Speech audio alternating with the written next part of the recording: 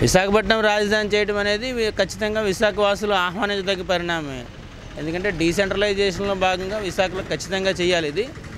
మరి ఇప్పుడున్న పరిస్థితుల్లో మనం కొత్త స్టేట్స్ ఉత్తరాంచల్ లాంటి స్టేట్స్ చూసినప్పుడు అవి పదిహేను ఏళ్ళు అయిపోయినా ఈ రోజు వరకు కొత్తగా క్యాపిటల్ కట్టుకోలేని పరిస్థితిలో ఉంది. ఎందుకంటే ఫైనాన్షియల్ ప్రాబ్లం ఉండడం వల్ల మనకు అంత ఫైనాన్షియల్గా మనం సౌండ్ కాకపోవడం వల్ల. సో ఇప్పుడు మనం అమరావతిలో చూస్తే ముప్పై మూడు వేల ఎకరాల్లో ఈ రోజు వరకు చూస్తే అక్కడ ఉన్న టెంపరీ బిల్డింగ్లు ఏవైతే కట్టారో ఆ- ఆ అసెంబ్లీ సెక్రటేరియట్ తప్పితే కొత్తగా ఏమీ లేవు. కనీసం అసెంబ్లీ సెక్రటేరియట్లో లోపలికి వెళ్ళి తినేవాళ్ళకి క్యాంటీన్లో భోజనం చేయవలసిన పరిస్థితి ఎవరికి ఉంటుందంటే ఓన్లీ అఫీషియల్స్కే ఉంటుంది. బయట వాళ్ళు కనీసం ఒక టీ తాగుదామన్న అవకాశం కూడా ప్రజెంట్ సెక్రటేరియట్లో లేని దుర్భరమైన పరిస్థితిలో ఉన్నాం. కనీసం విజిటర్స్ ఎవరైనా వెళ్ళి చూస్తే ఉపవాసంతో తిరిగి రావాల్సిన పరిస్థితి. సో అలాంటి పరిస్థితుల్లో అక్కడ ఉన్న క్యాపిటల్ కంటే మనం క్యాపిటల్ షిఫ్ట్ చేసుకోవడం మంచిదే. అయితే మరి అక్కడ రైతులకు కూడా న్యాయం చేయాలి కాబట్టి కేవలం అక్కడ ఏదో అగ్రికల్చర్ అన్న ఒక్క విషయానికే కాకుండా అమరావతిలో కూడా కొంత ఏమైనా కొన్ని అంటే అదొక ఎడ్యుకేషనల్ హబ్గా దాన్ని తీర్చిదిద్ది మొత్తం ఎడ్యుకేషనల్ ఇన్స్టిట్యూషన్స్ అన్నీ అక్కడ పెడితే చాలా బాగుంటుంది. మరి ఈ వ్యవసాయం కూడా ఇప్పుడున్న టెక్నాలజీ కాకుండా గవర్నమెంటే అక్కడ ఉన్న అగ్రికల్చర్ ల్యాండ్స్ అన్నీ తీసుకుని ఒక కోఆపరేటివ్ ఫార్మింగ్ సిస్టంలో అక్కడ అగ్రికల్చర్ ల్యాండ్స్ని కానీ డెవలప్ చేస్తే అక్కడ ఉన్న రైతుల్లో కూడా కొంత తిరుగుబాటు తగ్గుతుంది ఆ ఏరియా కూడా కొంత డెవలప్ అవుతుంది. సో కాబట్టి డీసెంట్రలైజేషన్ మేము పూర్తిగా స్వాగతిస్తున్నాం. ఇది మంచి నిర్ణయం. అంటే ప్రాబ్లమ్ ఇక్కడ ఒకటి ఉందండి. ఇప్పటికే సిటీలో చాలా ట్రాఫిక్ ప్రాబ్లం ఉంది. మార్నింగ్ నుంచి ఈవినింగ్ వరకు అసలు ఏ పరిస్థితిలోనూ ఎవరు బయటికి వెళ్ళలేని పరిస్థితి. అంటే పీక్ అవర్స్లో.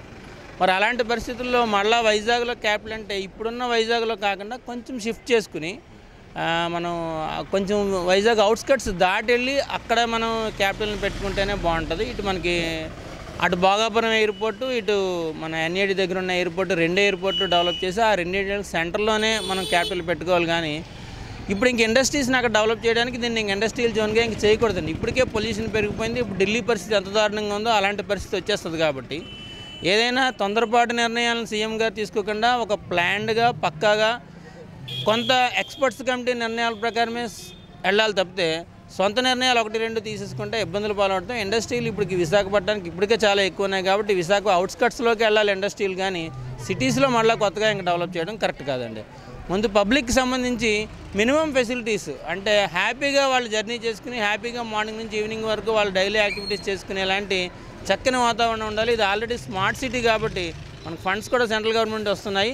పొల్యూషన్ పెరిగిపోతే ఆ ఫండ్స్ కూడా వచ్చే ఛాన్స్ తగ్గిపోతుంది కాబట్టి దీంట్లో ప్రతిదాన్ని అవుట్స్కట్స్లోకి వెళ్ళాలి. అంటే శాటిలైట్ సిటీస్ని విశాఖ చుట్టూ డెవలప్ చేసి అనకాపల్లి ప్రాంతం కూడా బాగా డెవలప్ చేస్తే ఇండస్ట్రియల్ జోన్గా అనకాపల్లిని మనం తయారు చేసుకోవచ్చు. అలాగే భీముల ఏరియాని ఇండస్ట్రియల్ జోన్గా తయారు చేసుకోవచ్చు. భోగాపురం అవతల ఇండస్ట్రియల్ జోన్గా తయారు చేసుకోవచ్చు. ఆటోమేటిక్గా పొటెన్షియల్ పెరిగి మన రాష్ట్రానికి బాగా ఫైనాన్షియల్గా డెవలప్మెంట్ ఉండే అవకాశం కూడా ఉంటుందండి. జగన్ పాలన అంటే ప్రజలకు ఏదో మేలు చేయాలి అనే ఉద్దేశంతోనే జగన్ గారు కనిపిస్తున్నారు. ఇచ్చిన హామీలన్నీ వరుసగా ఒకటి తర్వాత ఒకటి నిలబెట్టేసుకుంటున్నారు.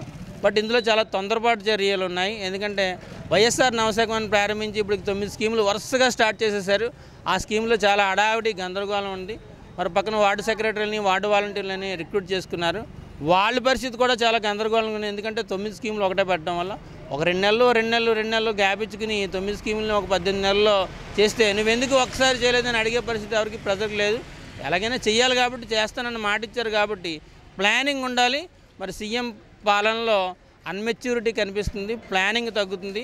ప్రజలకు సేవ చేయాలనే ఆనందం ఆయనలో ఉన్నది కానీ దీంట్లో కానీ మెచ్యూరిటీ లేకపోతే ఫ్యూచర్లో రాష్ట్ర అభివృద్ధి కుంటుపడే పరిస్థితి ఉంది.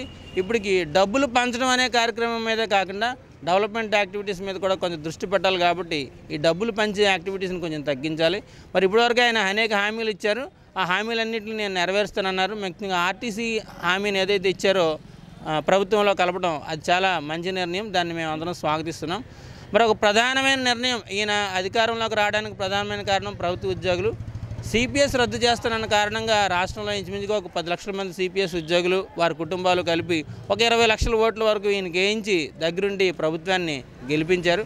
మరి ఆ సిపిఎస్ రద్దు చేస్తానన్న హామీని మరి ఇప్పటివరకు చెప్పలేదు. మరి ఈ విషయంలో కానీ మాట తప్పుతారేమో అని అనిపిస్తుంది. అలా అయితే మరి మాట తప్పిన మనిషిగా నిలబడిపోతారు. కాబట్టి ఈ విషయంలో కూడా స్లోగా నిర్ణయం తీసుకున్నా సరే కరెక్ట్ డెసిషనే తీసుకుంటారని చెప్పి మేము ఆశిస్తున్నామండి. డెవలప్మెంట్ అయితే చాలా మంచిది కదా. ఇంకా చాలా ప్రజలు జనాలు ఈ ఇది కూడా అనకాపల్లి కూడా వైజాగ్లో సిటీలా తయారైతే చాలా బాగుంటుంది కదా. బా డెవలప్ అయితే చాలా బాగుంటుంది అనుకుంటున్నాం. నిజమే కదా. మధ్యతరగతి స్టూడెంట్స్ వాళ్ళు జాబ్స్ లేక ఇలా మేమే ఎగ్జాంపుల్ మేమే ఇలా తిరుగుతున్నాం వస్తే ఏదో కంపెనీ ప్రైవేట్ కంపెనీ అయినా జాయిన్ అవుతారు కదా. వస్తే కంపెనీస్ అయ్యి వస్తే.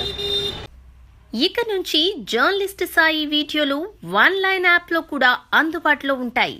డిస్క్రిప్షన్లో ఉన్న లింక్ ద్వారా వన్ లైన్ యాప్ డౌన్లోడ్ చేసుకుని కేటగిరీలో ఉన్న జర్నలిస్ట్ సాయి ఆప్షన్ సెలెక్ట్ చేసుకోండి.